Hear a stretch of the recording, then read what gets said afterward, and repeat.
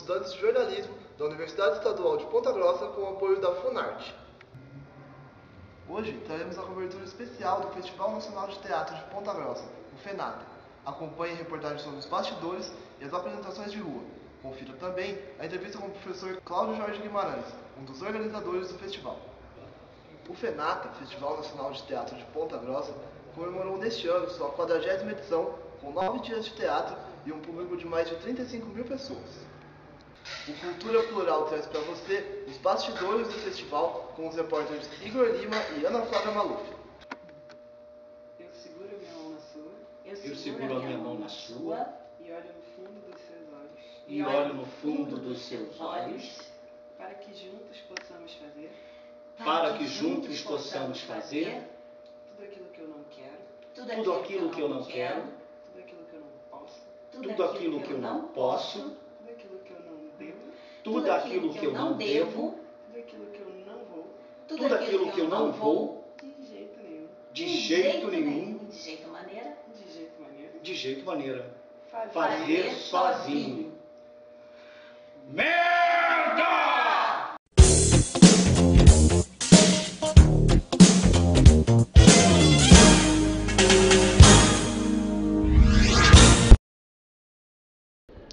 Começou no dia 6 de novembro o Festival Nacional de Teatro.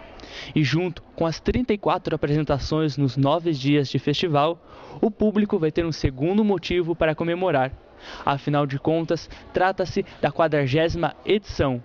Senhoras e senhores, com vocês o Fenata, por detrás das cortinas.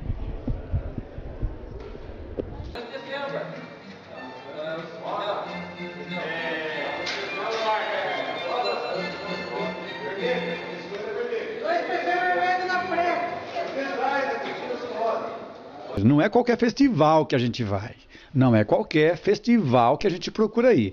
Esse festival, o Fenata, por um acaso, nós já viemos aqui cerca de 10 vezes, porque é um festival de referência nacional, um dos mais importantes do Brasil. Esse, particularmente, para mim, é muito sim, simbólico, é emocionante. Por quê? Em 79, quando ele era criança, ainda tinha sete anos, no sétimo Fenata, eu estive aqui. Poxa, eu estava começando a fazer teatro em 79. Quer dizer, hoje ele já está adulto, madurão, 40 anos. Isso para mim é um prazer muito grande. Eu ando pela cidade, vejo coisas de, de 30 e tantos anos passados e me dá uma saudade imensa. Ontem eu estava vendo algumas fotografias sobre o festival, uma revista que fizeram aí sobre o festival e lembrando dos momentos, quantas pessoas do Brasil eu não, não conhecia aqui, Quantas pessoas, quantas peças maravilhosas, eu vi, vi peças ruins também. Festival é para isso, para mostrar, é uma mostra do que se tem no Brasil. Vi, pe né, vi peças sem muita qualidade, vi peças com muita qualidade, estética, conteudística, de modo geral. Nossa, então é isso. É a troca, conversar com outros grupos, é, participar dos debates, isso é fundamental para o conhecimento, a aquisição de conhecimento para todos os integrantes de qualquer grupo de teatro. Por isso que nós viemos aqui no primeiro dia e vamos sair no último. Porque quanto mais se discute teatro, se vê teatro, se aprende mais.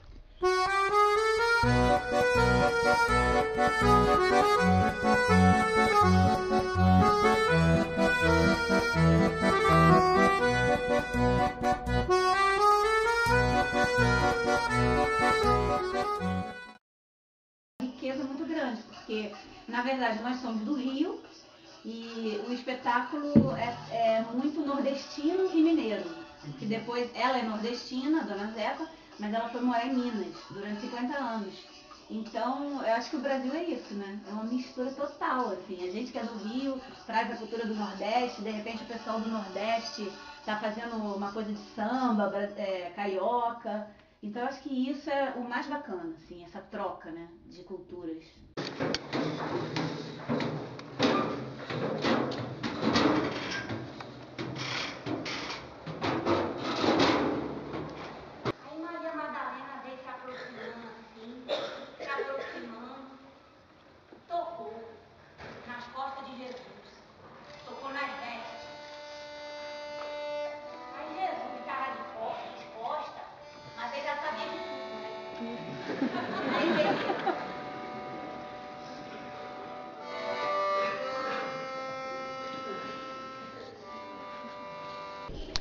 Nos bastidores do Fenata acontece muita coisa, mas também aqui na frente dos palcos tem várias personalidades que inspiram quem está lá em cima do palco. E um desses exemplos é o Bernardo. Ele está estudando é, teatro e está acompanhando os bastidores do Fenata. Ou seja, ele está vindo todo dia pela tarde acompanhar o pessoal. Tudo bom, Bernardo? Conta um pouquinho pra gente como é que está sendo o Fenata para você. Ah, o Fenata para mim tá sendo uma lição, né? Porque eu venho aqui, eu vejo como é que é os bastidores mesmo, eu ajudo a montar as coisas e como eu quero fazer artes cênicas, é um grande aprendizado para mim, né? O Fenata ele tem 40 anos e você só tem 15, então tem uma diferença aí enorme. E isso reflete no palco, né? As experiências que os atores trazem no palco e inspiram você. Conta um pouquinho pra gente como é que você teve essa ligação com o teatro.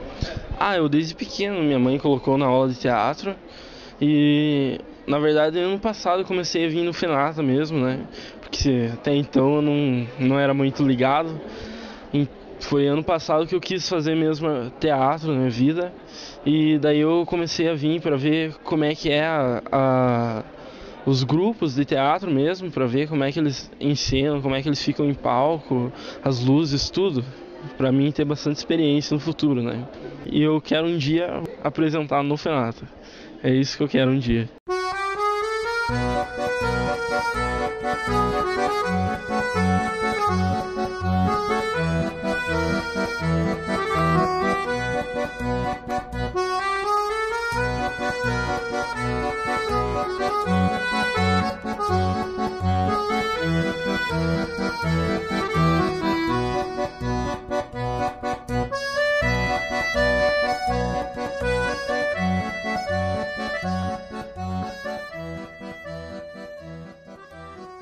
Finata por detrás das cortinas também não fica só dentro do teatro. A gente expandiu e a gente agora está aqui no alojamento onde todo o pessoal está concentrado.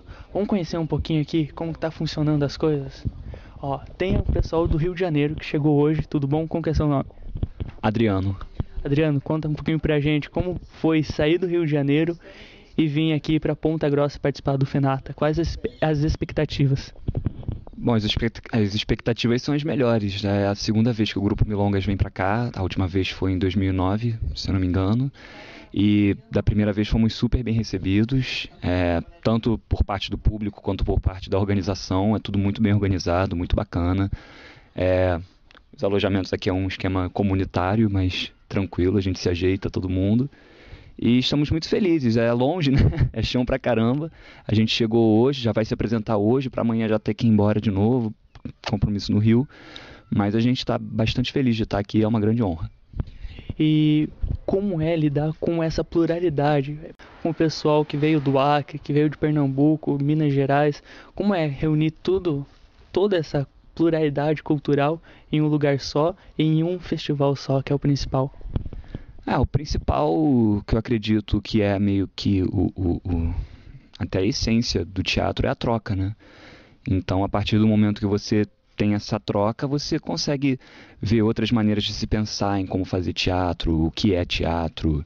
É, essa é a importância de encontros como esse. É uma pena que não que sejam poucos, né? O Brasil tinha que ter mais encontros assim que permitissem pessoas descobrirem os outros Brasis que tem por aí, né? Como é que faz teatro aqui, como é que faz teatro em Blumenau, como é que faz teatro no Acre, no Rio. Então, é, é eu acho que o principal disso tudo é a troca mesmo, é eu, eu ter a possibilidade de assistir espetáculos que talvez nunca fossem para o Rio e mostrar o meu trabalho também para pessoas que nunca poderiam ver no Rio. Então é basicamente, acho que é essa ideia de troca mesmo. Então, muito obrigado, boa sorte. E a gente continua aqui, vendo os bastidores, e agora a gente vai descer para o sul de volta e vamos para Santa Catarina com o pessoal de Blumenau. Tudo bom? Qual é seu nome? Tudo bem, meu nome é Victor. Victor, de qual companhia? Então, nós somos do projeto Shakespeare Livre, e o espetáculo que a gente apresentou hoje, inclusive, às duas horas, foi o é, Dois Cavaleiros de Verona. E como foi se apresentar? É a primeira vez que vocês estão vindo para o Fenata? Para esse festival, sim. Foi muito legal. O teatro cheio, né? Assim, o Teatro Marista, um teatro maravilhoso. Sei lá, acho que 700 crianças na plateia. Então, assim, dá aquela adrenalina, aquela emoção, assim. Mas foi muito bom. E o quanto está sendo representativo para a companhia de vocês se apresentar em um festival que está reunindo o pessoal do Brasil todo? Ah, eu acho fantástico, porque é, essa troca né, que o teatro permite, é, de estar tá assistindo é, outros trabalhos com outras linguagens, depois tem os debates que a gente pode estar tá conversando e dialogando sobre esses, fa esses fazeres teatrais, né? Conversar um pouquinho com os outros, com os outros grupos é sempre muito bom, né? Tá certo, então, muito obrigado.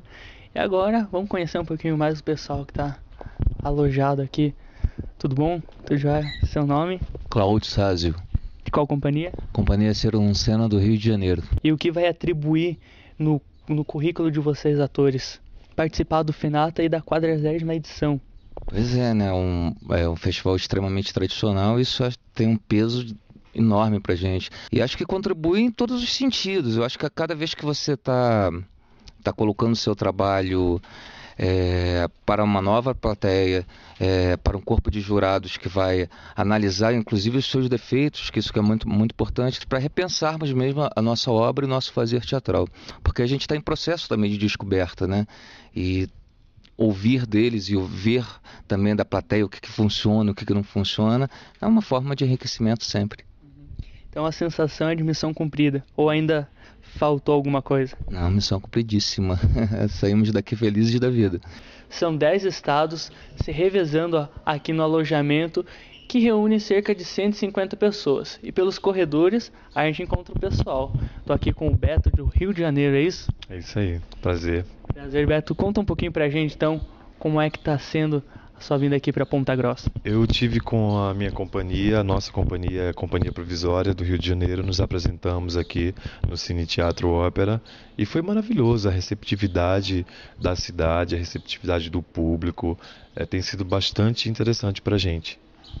E se apresentar no FENATA que reúne essa diversidade de pessoas, de estados, de locais do Brasil e ainda mais na sua quadragésima edição, um aniversário de 40 anos, responsabilidade para o grupo? Uma responsabilidade e um privilégio. Um festival desse tamanho, com essa infraestrutura, com essa idade, completando 40 anos, 40 edições, para a gente é extremamente prazeroso participar dessa grande festa.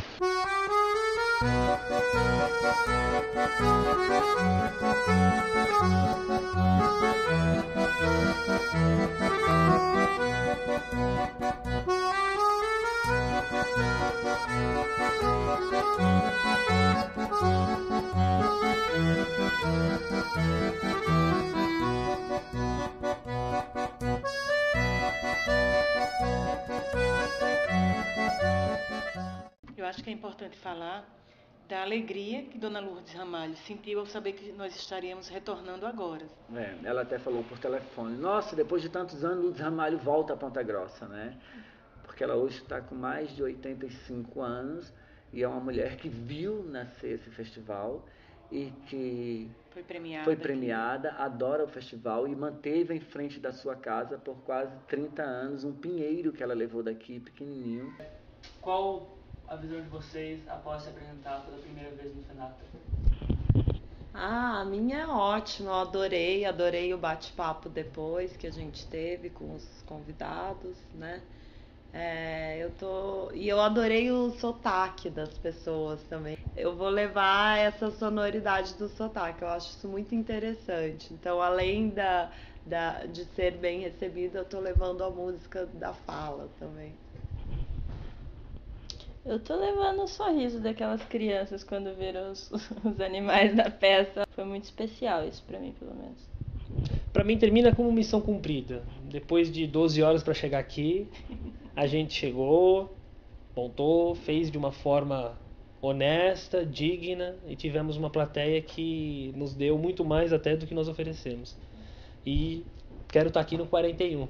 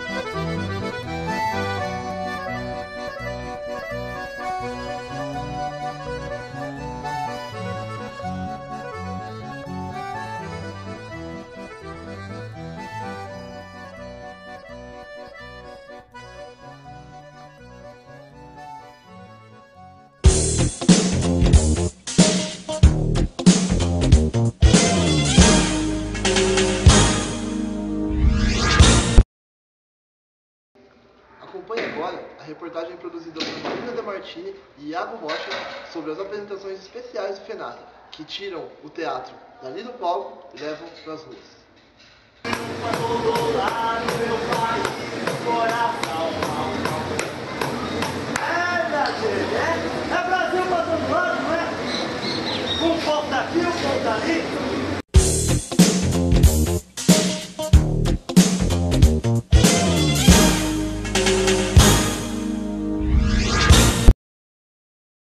Olá, meu nome é Marina De Martini e esse é o Cultura Plural para o Fenata 40 anos, especial espetáculo de rua. Nessa quinta-feira, dia 8 de novembro, o espetáculo é O Povo que Sustenta o Brasil, aqui no Calçadão de Ponta Grossa. O ator é o Roberto Inocente, com direção do próprio Roberto Inocente. O grupo é o Arte de Comédia, cidade de Curitiba, Paraná, e a classificação é livre, como todos os espetáculos que acontecem aqui no Calçadão e também no Parque Ambiental aqui de Ponta Grossa. Uh, o espetáculo mostra um cearense que volta para sua terra depois de ter trabalhado mais de 20 anos nas capitais do Sul. Mas no caminho ele se perde e por aí começa a pedir para todos os que passam uma ajuda para encontrar a estrada para a sua cidade.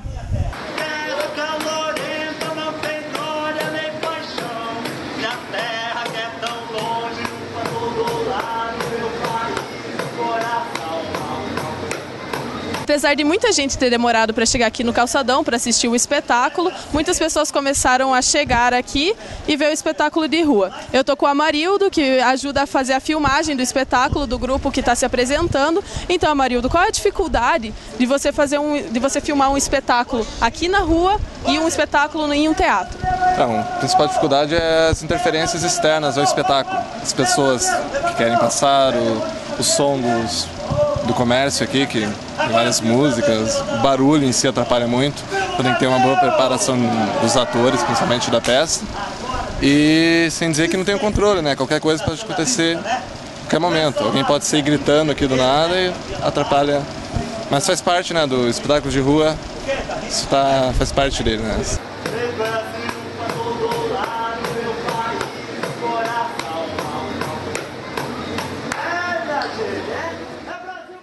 Está achando do espetáculo aqui de rua? É, eu, eu vim da, do grupo, uma casa que está fazendo uma, uma, um tratamento, e a gente veio, ontem um grupo veio, hoje eu vim nesse grupo. De, só que eu cheguei no final. Só que eu achei assim que tudo que ele falou, tudo é válido. Todo mundo que está aqui eu vi, é, o assunto que ele abordou, eu acho que foi tudo a ver né, para a população entender o que tem que fazer, o que é melhor. Se não fizer, o que, que vai acontecer, vai ter as suas consequências. E eu achei bem válido. É, como é que foi fazer esse espetáculo no meio da rua? O senhor já tinha feito anteriormente ou não? É, a gente já trabalha, o nosso grupo é um grupo de teatro de rua, né? É o Grupo Arte da Comédia, de Curitiba. A gente trabalha só a linguagem de rua, né?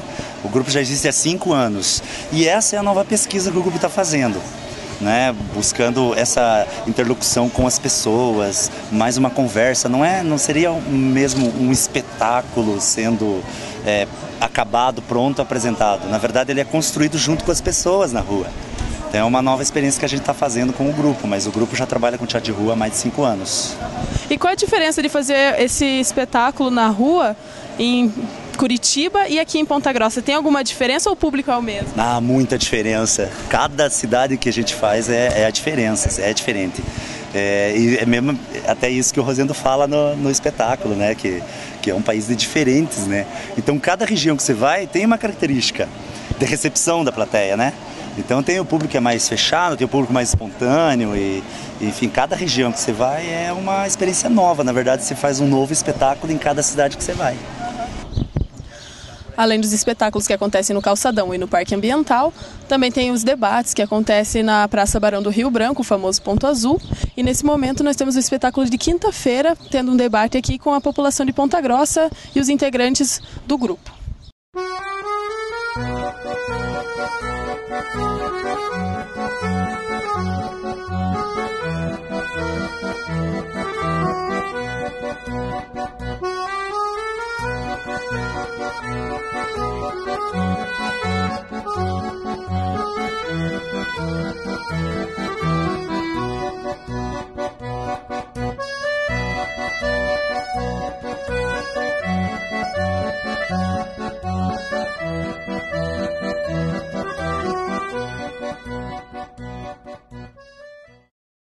Neste sábado nós temos a peça Minha Alma é Nada Depois dessa História, que, devido à chuva, mudou-se do Parque Ambiental para a Estação Saudade. A peça é do Rio de Janeiro, do grupo Ciclomáticos Companhia de Teatro, e conta a história de um vigia de uma fábrica que se apaixona por uma misteriosa mulher chamada Cleide.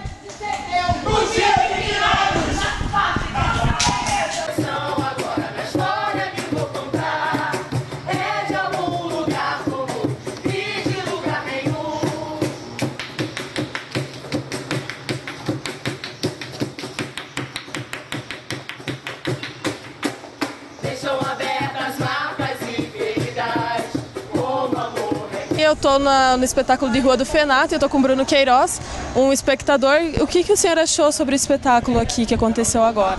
É um espetáculo bem, bem interativo. É, esse lance da, da, do espetáculo de rua é um espetáculo que para o ator é muito difícil, né? Ao meu ver. Porque tem aquelas coisas, o cachorro que, passou, que passa e o, passa alguém de repente fala alguma coisa. Mas é, é um espetáculo muito, muito legal mesmo. Um espetáculo diferente, né? Um espetáculo que tem envolve dança e representação exige muito, mas é bem legal, é bem legal o espetáculo. Acho que é o, o, a ideia do FENAT é importante para a cultura de, do, do, do, daqui de Ponta Grossa, né? Porque é, o país precisa disso. Então eu acho que a gente tem que estar tá ali, dar força e é muito legal. 40 anos é uma, uma vida, né? Gente, hoje eu tô com o Ribamar Ribeiro, ele é o autor dessa peça do espetáculo de rua do sábado. Então, Ribamar, qual a dificuldade de fazer um espetáculo na rua aqui em Ponta Grossa ou em qualquer lugar né, do país. É, na verdade, o bacana do teatro de rua, né, principalmente para nós, os ciclomáticos companhia de teatro, é, são as adversidades. Né? A gente chegou aqui com chuva, com o tempo, e a gente fala até que o espetáculo Minha Alma Nada Depois dessa História, ele tem uma, tem uma energia, porque a gente começou a cantar música que as pessoas se envolvem, elas vão sendo é, quase como se fossem magnetizadas pelo trabalho. Então isso contagia, e isso é muito bacana para o espetáculo, principalmente para a gente do ciclomático companhia de teatro. Fernanda, eu quero que você me fale é, como é que foi fazer esse papel aqui, né, em Ponta Grossa ou em qualquer parte que você já fez? E como é que é um pouco o espetáculo? Eu queria que você contasse um pouco dessa história.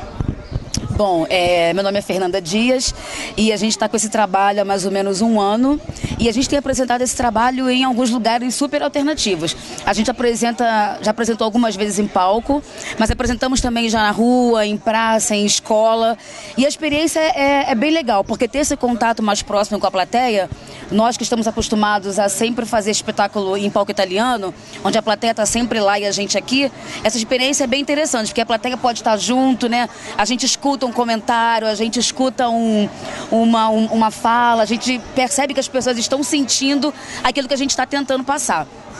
É, a história de Cleide, ela é uma mulher, né? E uma mulher sensual, uma mulher misteriosa, que a gente acredita que uma das intenções dela é viver, ser feliz, né? E, e quando encontra algum homem que ela possa pegar esse homem e fazer parte da felicidade dela, ela faz sem nenhum pudor mesmo. Então, e ela entra na vida dessa pessoa e transforma a vida dessa pessoa, deixa um legado e vai embora, né? E deixa só na, na pessoa que ficou uma sensação, uma lembrança, né? Um perfume, para que a pessoa possa lembrar dela ao longo da vida, né? Então, Cleide tem essas características, é uma mulher sensual e essas características elas estão divididas nas quatro mulheres, né?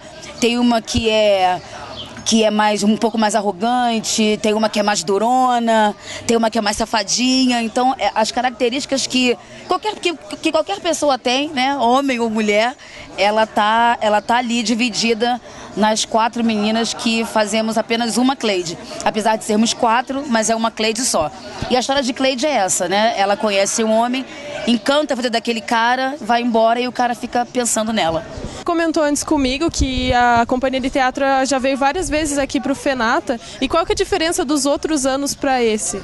Na verdade, acho que o Fenata é um dos festivais mais importantes do país por conta da sua trajetória, 40 anos de festival. A gente já participou de quatro é, festivais, quatro edições do festival.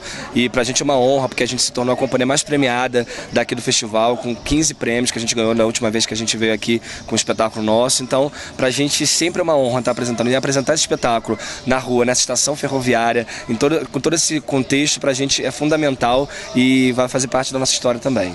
E é legal que o povo, o povo aqui do, de Ponta Grossa, ele, ele, tá, ele abraça essa ideia já há muito tempo. Então é importante para quem vem de longe, eu acho que seja importante, porque as pessoas vêm aqui com um propósito e, e, e, é bem recebido.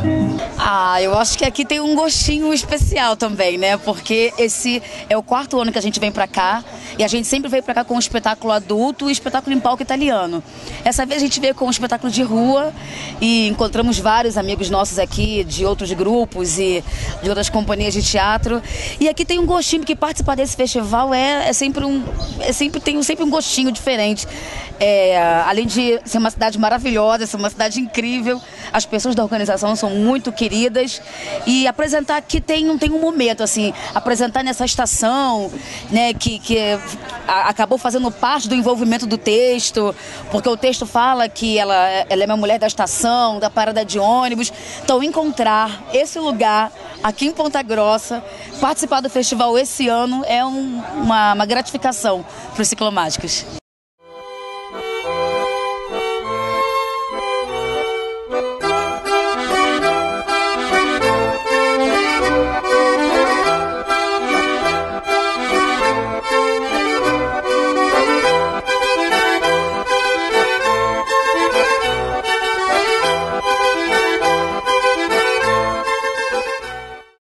Na segunda-feira, dia 12 de novembro, às 4 horas, aconteceu o espetáculo de rua Amor por Anestins, de Joinville, Santa Catarina. O espetáculo que deveria acontecer no Calçadão acabou acontecendo na Estação Saudade, devido à chuva.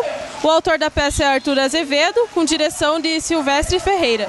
O grupo é o Dionísio Teatro e a duração foi de 50 minutos, com classificação de 12 anos. A história do personagem Isaías, um velho de aparências não muito interessantes, que tenta conquistar uma bela interesseira viúva. Tudo seria normal se não fosse o vício de Isaías de falar quase o tempo inteiro através de anexins, ou seja, ditados populares. E qual é a principal diferença de fazer uma peça no teatro e uma peça na rua? Legal. Eu me divirto muito com um espetáculo de rua, porque a diferença é que aqui está totalmente aberto. Qualquer coisa que venha de fora você pode aproveitar, você pode brincar, você pode ter essa interação e as pessoas elas vêm aqui, mas elas sabem que elas fazem mais, elas fazem mais parte do, do, do, do, do espetáculo que está acontecendo aqui do que quando está lá no conforto da cadeira, no, no escuro do teatro. Isso fica um pouco mais confortável para as pessoas se manifestarem. Aqui não tem interação, as pessoas se permitem jogar, né? Quando, quando o jogo acontece mesmo e, e acho que a gente conseguiu fazer isso hoje.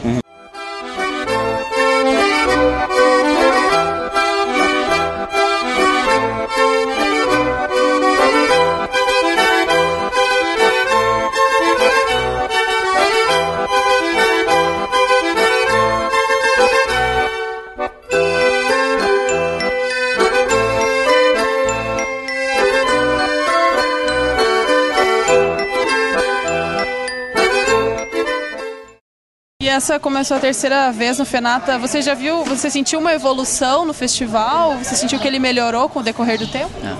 Olha, o que eu posso falar realmente é sobre a organização, né? Eu percebi que a organização está cada vez melhor, cada vez é, a gente, nossa, que legal, é, ah, agora tem isso, ah, agora tem aquilo, nossa, tá, já está pronto, já está ok, já tá, que legal. E das outras vezes também teve isso, mas a gente percebe como a fica, como fica mais rápido. Infelizmente, acompanhar muito a programação a gente não consegue, porque a gente está muito na estrada e aí aquela coisa, né? A gente, eu acho que todo grupo acaba reclamando disso, tá viajando para lá, para cá e acaba não conseguindo aproveitar direito os outros espetáculos, né? Aí é uma pena, mas pelo que eu ouvi, tá muito legal, tá muito bom.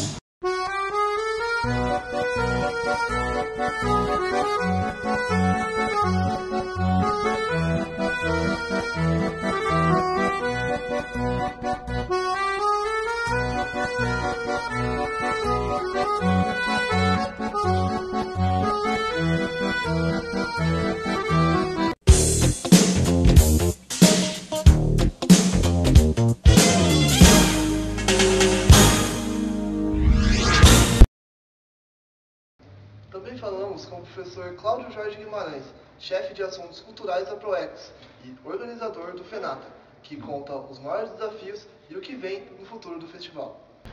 Olá, Estamos aqui com Cláudio Guimarães, responsável pela organização do FENATA. Professor, tudo bem? Tudo bem, tudo em paz. Professor, o FENATA chegou na 40 edição em 2012. O que marcou esses 40 anos do festival? Bem, na verdade o FENATA ele tem uma história, como você mesmo disse, 40 anos. Então são vários momentos históricos. Né? O processo de, de, de início do FENATA com o Telmo Faria, é uma pessoa bastante ligada nesse circuito é, cultural, onde ele trouxe para Ponta Grossa. Primeiro foi criado o grupo de teatro universitário. Na sequência, o festival, que já nasceu nacional, né? ele já nasceu um festival grande, porque por essas relações o Telmo Faria trouxe para Ponta Grossa os expoentes deste setor cultural, como Bibi Ferreira, Grande Otelo, Madame Henriette Mourinot, o embaixador Pascoal Carlos Magno. E posteriormente o FENAT ele passou por um processo de fortalecimento interno, quando foi criado também a mostra para crianças, é o FENATinha, que esse ano também completou 35 anos de existência, e posteriormente ele passou por um processo a partir de 2002 de extra muros, né? O FENATA saindo, digamos, dos muros da universidade e passando a ser um evento também da cidade. Aí nós temos a, o teatro de rua, nós temos o teatro de bonecos, é, 10 em cena. Então o FENATA foi se expandindo e principalmente com a mostra que nós chamamos de mostra especial, que se iniciou lá em 2002, e passou a se fortalecer ano a ano, que é exatamente essa mostra que leva as artes cênicas a outros é, espaços, como a Paia, Pacedê, CEMEIs, escolas, distritos, enfim. Então esse é o, o, o FENATA, né, nesses 40 anos, que ano a ano é, mostrou esse crescimento, tanto nas variedades de mostra, quanto de acesso ao público. E o que se destacou nessa edição de 40 anos, nesse aniversário do FENATA? Bem, esse aniversário de 40 anos ele se destacou no sentido da amplitude que o Fenata demonstrou e a força que ele demonstrou esse ano. Em 2011, nós tivemos uma média de público estimado em 27.700 pessoas que tiveram acesso a esse produto cultural. A nossa expectativa de atingir o público em todas as, as mostras era em torno de 30 mil. Mas a nossa grande surpresa veio com a mostra especial, né? nós tivemos mais, nós tivemos nove grupos circulando, fazendo quatro apresentações por dia.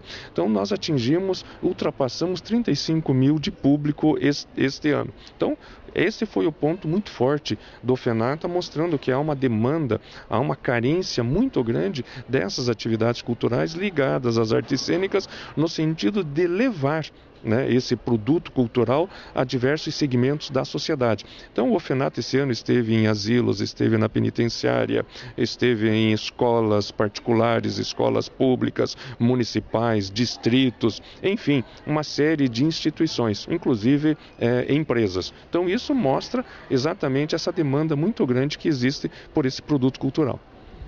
E nesse sentido, qual a relação do festival tão grande com a cultura de Ponta Grossa? Não, ele mostra esse ano, o aspecto positivo também desse ano foi que nesta mostra especial nós tivemos diversos grupos da cidade atuando no FENATA. Então isso mostra que o FENATA está, digamos, é, trazendo essas pessoas que se preocupam, que gostam, que se dedicam a essas atividades culturais também para dentro do FENATA. Se não nas inscrições, digamos, na mostra competitiva, mas está trabalhando, ou seja, na mostra paralela, ou seja, na na mostra especial. Então mostra essa inserção maior e esse foi um destaque deste ano. E quais são os planos para o futuro do FENATA? Bem, nós temos é, desafios, né? Sem dúvida alguma, nós temos um grande desafio que a gente já gostaria de ter incrementado em anos anteriores. Fizemos algumas experiências daquilo que a gente chama de teatro em espaços alternativos, que seria um espaço exatamente de experimentação. Se você percorrer hoje o Brasil, você verá que tem grupos de estudo, né, de teatro que estão fazendo uma série de experimentações. E para isso eles não não se apresentam, digamos, nos teatros convencionais musicais, o palco italiano, por exemplo. Então nós temos grupos que estão solicitando em Ponta Grossa um espaço assim, que seria um galpão com o processo de iluminação. E aí eles montam a participação do público conforme a montagem do espetáculo, seja em círculo, arena, corredor. Então eles querem exatamente um espaço para experimentação no FENATA. Então, eles gostam de vir para o FENATA, mas estão é, solicitando que a gente tenha esse espaço para outras produções. Então esse é um dos desafios. Um dos desafios para o próximo ano é conseguir é, um espaço como esse.